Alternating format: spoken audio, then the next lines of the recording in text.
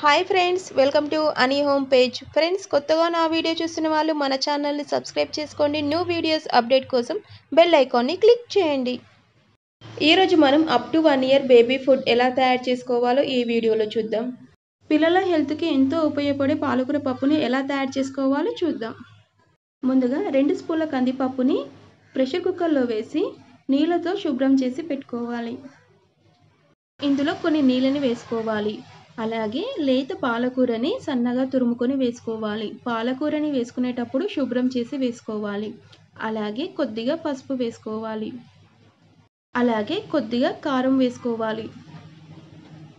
పిల్లల కోసం పప్పుని తయారు చేస్తున్నాం కాబట్టి ఉప్పుని కొద్దిగా వేసుకోవాలి. దీనిని ఒకసారి కలుపుకోవాలి.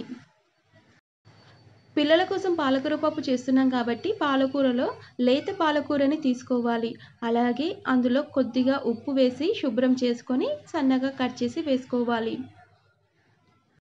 దీనిపైన మూత పెట్టుకొని రెండు విజిల్ వచ్చే వరకు ఉడికించుకోవాలి.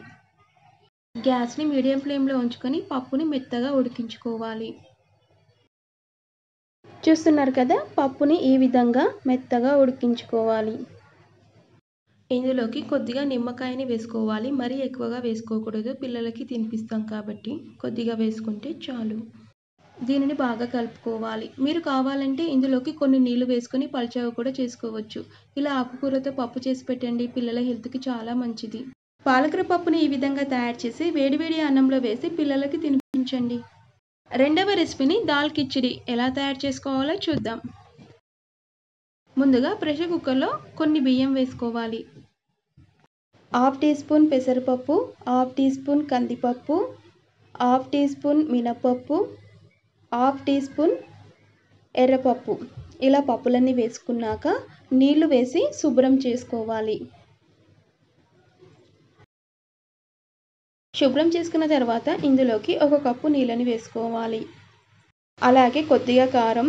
పిల్లల కోసం తయారు చేస్తున్నాం కాబట్టి కారం ఉప్పు పసుపు చూసి వేసుకోవాలి. మరి ఎక్కువగా వేసుకోకూడదు.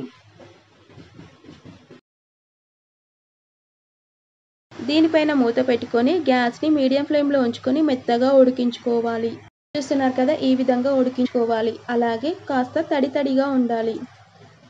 ఇందులోకి కొద్దిగా నెయ్యిని వేసుకోవాలి. దీనివల్ల మంచి టేస్ట్ వస్తుంది. ఇందులో పప్పులు వేసుకున్నాం కాబట్టి దాల్ కిచిడిని మెత్తగా ఉడికించుకోవాలి. ఈ విధంగా తయారు చేసుకోవాలి. దీనిని పిల్లలకు తినిపించేటప్పుడు వేడివేడిగా ఉన్నప్పుడు తినిపిస్తే రుచి బాగుంటుంది. ఇది చల్లారితే గట్టిగా తయారవుతుంది. పిల్లలు అసలు తినరు. మూడవ రెసిపీ క్యారెట్ రైస్. దీనిని పిల్లలు ఇష్టంగా తింటారు టేస్ట్ కూడా బాగుంటుంది. ముందుగా చిన్న ఆలుగడ్డని తీసుకోవాలి అలాగే ఒక మీడియం సైజ్ క్యారెట్ని తీసుకోవాలి.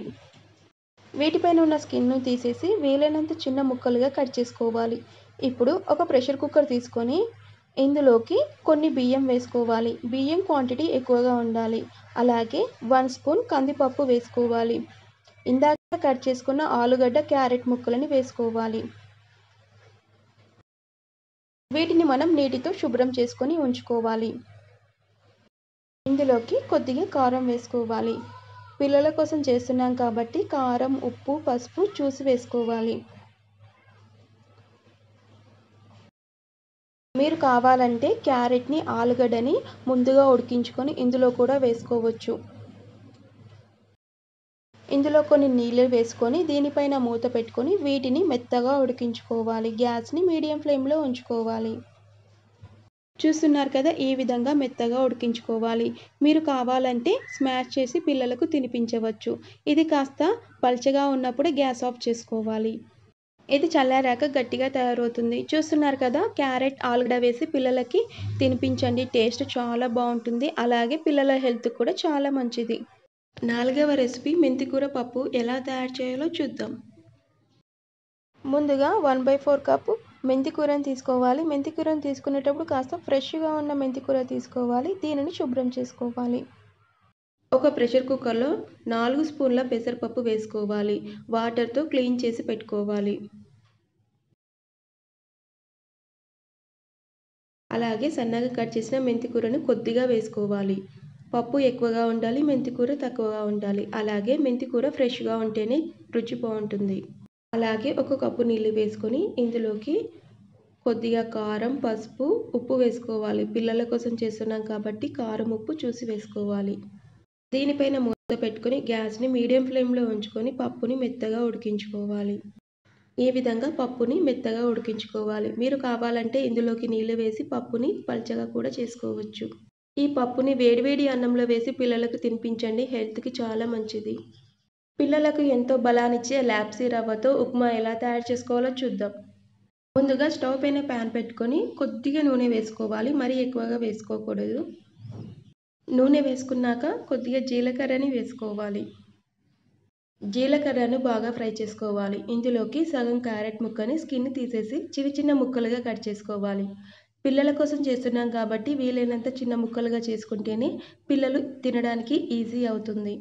వీటిని బాగా ఫ్రై చేసుకోవాలి. గ్యాస్ని మీడియం ఫ్లేమ్లో ఉంచుకొని ఒక రెండు నిమిషాల పాటు కలుపుకోవాలి. ఇవి కాస్త వేగాక ఇందులోకి స్మాల్ సైజ్ టమాటాని తీసుకొని చిన్న చిన్న ముక్కలుగా కట్ చేసి వేసుకోవాలి. టమాటా ముక్కలను కూడా బాగా ఫ్రై చేసుకోవాలి. ల్యాప్సీ రవ్వతో మనం ఉప్మా చేస్తున్నాం కాబట్టి దీనిని కాస్త ఫ్రై చేసుకోవాలి. మీరు కావాలంటే కొద్దిగా నెయ్యి వేసి కూడా ఫ్రై చేసుకోవచ్చు. ఇవి కాస్త వేగాక ఇందులోకి కొద్దిగా పసుపు కొద్దిగా కారం కొద్దిగా ఉప్పు వేసుకోవాలి. పిల్లల కోసం తయారు చేస్తున్నాం కాబట్టి కారం ఉప్పు చూసి వేసుకోవాలి.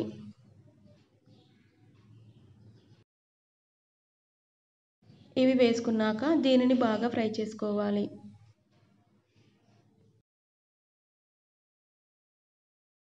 ఇందులోకి ఒక కప్పు నీళ్ళని వేసుకోవాలి. గ్యాస్ని మీడియం ఫ్లేమ్లో ఉంచుకొని నీళ్ళని మరిగించుకోవాలి. నీళ్ళు బాగా మరిగించుకుంటే ఇందులో వేసుకున్న క్యారెట్ టమాటా ముక్కలు బాగా ఉడుకుతాయి. నీళ్ళు మరుగుతున్నప్పుడు ఇందాక ఫ్రై చేసుకున్న రవ్వని వేసుకోవాలి. రవ్వ వేసుకున్నాక ఒకసారి కలుపుకొని గ్యాస్ని మీడియం ఫ్లేమ్లో ఉంచుకొని దీనిపైన మూత పెట్టుకోవాలి. రవ్వలో నీళ్ళు మొత్తం పోయే వరకు ఉడికించుకోవాలి.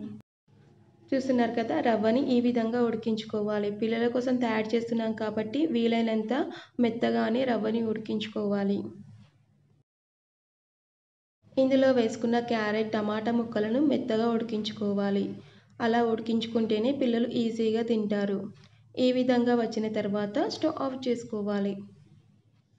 మీరు కావాలంటే ఇందులో ఉన్న టమాటా క్యారెట్ని తీసేసి పిల్లలకు తినిపించవచ్చు.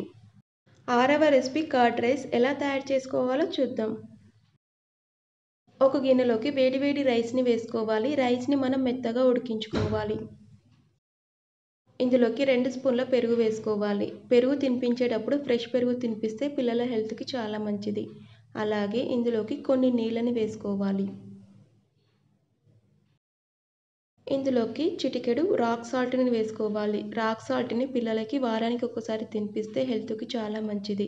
ఇది వేసుకోవడం వల్ల పెరుగన్నం టేస్ట్ కూడా చాలా బాగుంటుంది. దీనిని బాగా కలుపుకోవాలి. పెరుగన్నం మెత్తగా ఉంటేనే టేస్ట్ బాగుంటుంది.